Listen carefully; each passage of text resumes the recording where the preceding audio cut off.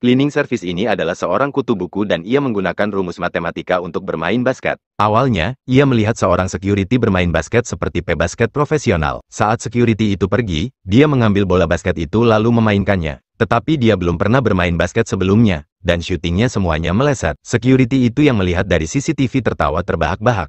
Namun kemudian, di layar CCTV menunjukkan kalau cleaning service itu mengambil tangga. Dia menaiki tangga itu dan mengukur diameter ring basket. Dia juga menggunakan meteran pita untuk mengukur tinggi ring itu. Security ini kebingungan dengan kelakuannya dan hanya bisa menertawakannya. Kemudian cleaning service ini mengukur jarak dari ring ke titik shooting. Dia bahkan mengukur tekanan pada bola basket itu. Selanjutnya, dia menggunakan rumus fisika untuk menghitung kecepatan yang diperlukan untuk sebuah bola basket. Akhirnya, dia menemukan bahwa bola perlu bergerak dengan kecepatan 41,5 km per jam. Cleaning service itu kemudian mengambil tiga bola basket dan melemparkannya dari jarak yang sama. Ketiga bola itu masuk sempurna ke dalam ring, dan security itu diam tercengang.